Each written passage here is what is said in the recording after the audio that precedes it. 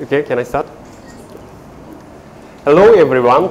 Hi. Thank you for coming from such a far place today.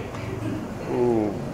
Where did you come from? Uh, uh, Atami. Wow, Atami, it's very far. I can't believe that uh, you came from a far place just to hear my speech. So without any further ado, I'll start my speech. Okay, I'd like to ask you first, what is life? What do you think about life? It's very difficult question, but the answer is very simple. Life means not death, right? well, what about death? What do you mean by death? Do you know? Death means stopping vital activity. Human beings can't escape from death. Of course, we all know it. All living things can't avoid death even planets. But true death isn't just about stopping vital activity.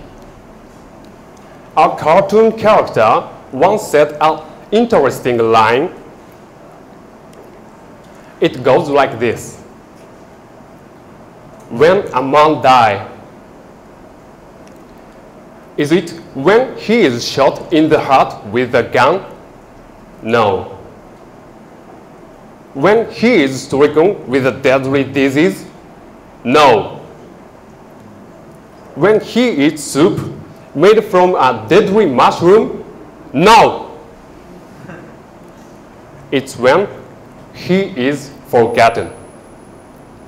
Okay, what is the line is telling us is that when people remember his words and thoughts, when uh, he's not dead yet, but when his words and thoughts are forgotten, it's true death. Maybe some of you have already experienced losing someone important.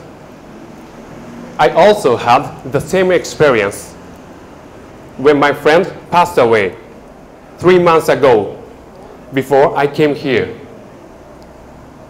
But Wait. but his way of thinking and my experience with him still lives in my memory. And all of it will spread to many people through me. And it will be passed on to our future generation. We, our family, friends, and others have influence on each other I'm afraid of death. But I'm more scared to spend my life not achieving anything meaningful and not being able to influence anybody. So that my life will not become miserable in the future. I'm challenging myself even just a little, such as today's speech. Finally, I hope every one of us here don't regret the past and don't fear the future. Seize the day so that before we die, we can say to ourselves, what a life it was! Thank you for listening.